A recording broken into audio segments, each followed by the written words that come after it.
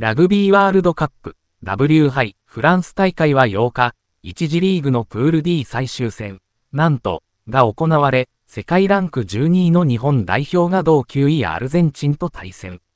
死闘を演じるも27対39で敗れ、2大会連続の決勝トーナメント、T 進出はならなかった。前半は1点差で折り返し、終盤突き放されるまで食い下がった日本に、イギリスメディアは、唯一の残念なことは、両チームが準々決勝に進めるわけではないということだ、と称賛。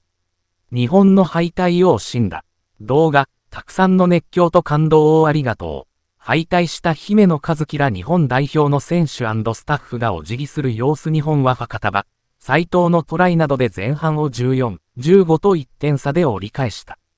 後半に引き離されたが、ナイカブラのトライ、レメキのドロップゴールが飛び出すなど最後まで食い下がり、会場の日本、コールも浴びた。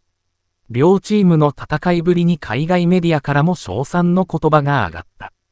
A 氏、ガーディアンは、アルゼンチンがスリリングな試合で日本に勝利し、ウェールズの待つ準々決勝進出、との見出しで記事を掲載し、どちらのチームも負けに値しない見事で息の詰まるような試合の後、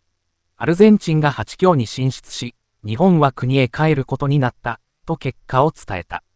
また、感銘を与える両チームは、ボールを手に観客を総立ちにさせた。唯一の残念なことは、両チームが準々決勝に進めるわけではないということだ、と日本が大会から去ることを惜しんだ。A 氏、インディペンデントは、スタッド・ドゥラ・ボージョワールでの敗戦で日本の W 杯が終わるとともに、ジェイミー・ジョセフ時代にも幕が降りた、と、この一戦でジョセフ HC が退任すると紹介。7年間ブレイブブロッサムズを指揮した監督は日本ラグビーを新たな高みへ導いた。刷新が必要であるチームにとってこの大会がどう過ぎたことが証明された後、ジョセフは大きな功績と共に去る、と記した。ザ・アンサー編集部